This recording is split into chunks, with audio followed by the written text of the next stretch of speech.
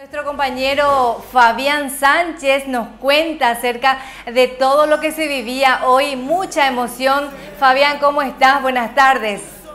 Buenas tardes Cintia, qué gusto saludarte también a todos los televidentes de Sur Noticias.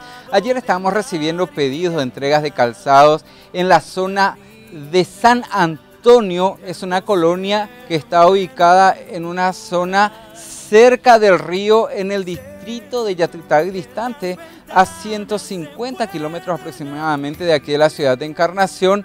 Hoy llegamos con los obsequios de la campaña Punandino y los alumnos disfrutaron de sus regalos.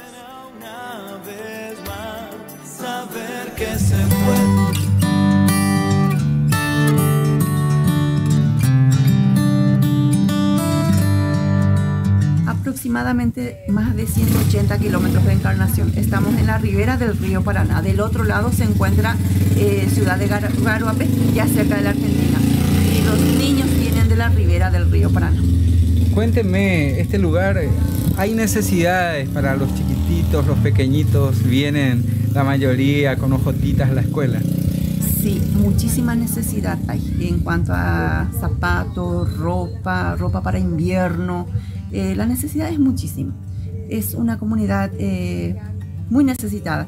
Viste que la mayoría de los padres viven de la caza y pesca, más de la pesca que estamos en la orilla del río Paraná. Son de escasos recursos. De muy escasos recursos, escasísimos. El significado para ustedes de que lleguen calzados de regalo en esta campaña Pinandino es una bendición de Dios. Agradecidísima con toda esa gente, con la organización y Dios se lo pague a todos esos que colaboraron para que hoy mis niños vayan felices en su casa. No solamente los niños, también los padres se fueron contentísimos. Eh, fue por intermedio de un colega que está en Alto Verá, en Potrero Caá, que tuvo algo similar y como dice el refrán, copiar algo bueno es bendición. Se nos antojó más a la directora contactar con ustedes y hoy se hizo realidad esta bella eh, entrega para los niños carentes de esta zona. estamos en la ribera, somos eh, escuela de frontera. Eh, ¿Y cuántos niños aproximadamente fueron beneficiados hoy aquí? Más de 35 porque a más de los niños fueron beneficiados los padres, las madres, los hermanitos que todavía no están en edad escolar también. Están chochos, contentísimos. Eh, verle a un niño contento y feliz es la alegría de mucho porque el niño agradece, agradece mucho las cosas. Aunque se le dé un caramelo, queda eternamente agradecido. Y de nuestra parte, la misma cosa para ustedes y a toda la gente que hizo posible esto. Mediante gente colaboradora se llega a gente más de escasos recursos. Bueno, también quiero comentarte, Cintia, a vos y a todos nuestros televidentes sobre un caso muy especial que a nosotros hoy nos alegra. ¿Sabes por qué, Cintia? Hace casi un año atrás nos llegó video al canal y nosotros compartimos, hablamos con el director regional sobre una escuela que estaba cerrada en la zona de Carlos Antonio López. Fuimos, conversamos con el doctor Paiva con respecto a la situación de esta institución. Él dijo, voy a hacer lo posible para que los chicos de esa zona de Carlos Antonio López puedan tener de vuelta abierta su institución y tenemos la nota para recordar lo que fue en aquel entonces.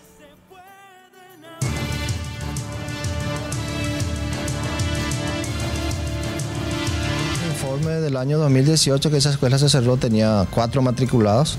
Los supervisores entonces eh, agarraron, ¿verdad? Eh, llevaron los alumnos en, otro, en, otra, en otra institución, es decir, garantizaron el, servicio educativo a esos niños según consta del informe y se procedió a cerrar, ya que la inversión era mucho para el Estado, muchas veces es la dentro de la reingeniería de los recursos, de los recursos humanos como director, ¿existe la posibilidad de que si en esa zona se vuelven a poblar y hay una cierta cantidad de niños, se pueda gestionar nuevamente?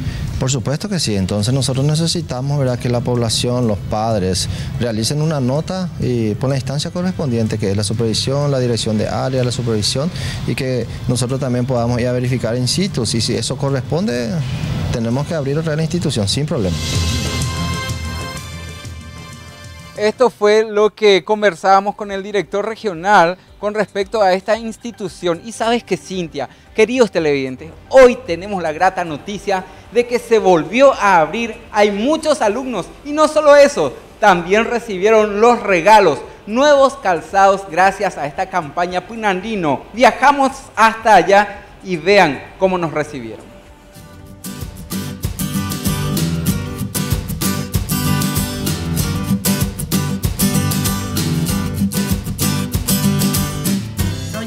Ahí te dijeron me depende muchísimas gracias entre madre cuera a alumno cuera rubide a ro ahí te ñando por ahí te muchísimas gracias voy tiempo lireo ya brillé la pende escuela pendeguana un año por fin Pereco llegué a la escuela habilitada. Pereco llegué habilitada, a agradecer pende porque pender rubide a vehículo, pero un de reclamo, a en realidad.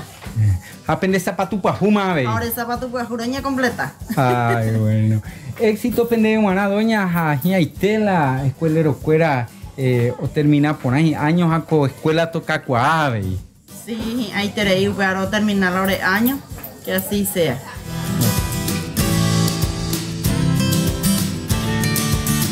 ahora más duro que era la etapa un regalo y por algo este yo que para el entonces lo veo ahí la pecho mi abuela ahora mando mando ore y por ahí te digo bella fue la hora hora escuela Primera vez pico a empezar la ayuda con Abela Tusa. Primera vez, primera vez. La coan a cuatro años, pero primera vez. ¿Está la mitad? Está ahí. Está ahí posiblemente dos paya vecina la co barrio pero lo más para co ikea co aula pe con ahora pente lo vecina esta vecina esta vecina pero pe agua esa nivel sí sí espectacular está se fuera ahora la joga pe gua vecina mindo ya co vecina la ipure buena la embumia Estamos muy felices por poder compartir con ustedes esta noticia, queridos televidentes, porque el año pasado esta institución educativa estaba cerrada. Nos hicieron llegar sus reclamos, hablamos, lograron gestionar y hoy está abierto y pudieron ver la cantidad de alumnos que tienen y más felices todavía con estos obsequios que recibieron el día de hoy. Cintia Jorge, es todo desde aquí, desde este. Qué linda, pero qué linda noticia realmente, Fabián. Estamos observando el rostro de estos pequeños que felices estaban ahí en la escuela que fue reabierta por una parte y por el otro los calzados que también les alcanzó. Así que doble noticia de felicidad para contar a través de esta gran cobertura, Fabián. ¿eh? Muchísimas gracias, Cintia. Compañeros, volvemos con ustedes. Bueno, muchísimas gracias Fabián también por este contacto y compartir esta felicidad de las comunidades distantes, porque hemos recibido muchos pedidos de varios distritos del departamento de Itapúa. No se puede llegar a todo, pero hasta donde hemos llegado siempre se ha visto esa recepción, esa receptividad y de cómo la campaña se ha instalado tan profundamente en, el corazón de la gente y que ven este tipo de proyectos, campañas como algo muy importante y muy positivo y poder llegar a la gente que realmente necesita. Son niños de comunidades como en el caso de Yatetaí, la zona de Carlos Antonio López, lo fue también en su momento en la zona del Alto Verá y después todas las instituciones educativas aquí del departamento de Itapúa en cercanías, Cambretá, Encarnación y entorno que también hemos llegado. Y, y también celebramos, Jorge, el de que hayamos cumplido como comunicadores también nuestro rol, el de ser un poco intermediarios ante la necesidad existente que se tenía en ese distrito al haberse cerrado aquella escuela. Al, habernos ellos contado esa situación y nosotros con nuestra gestión a través de los compañeros de Sur TV se pudo lograr que esta escuela se pueda reabrir. Así que celebramos y nos ponemos muy contentos y vemos el rostro de estos pequeños, así que muy, muy contentos y eso nos llena de satisfacción.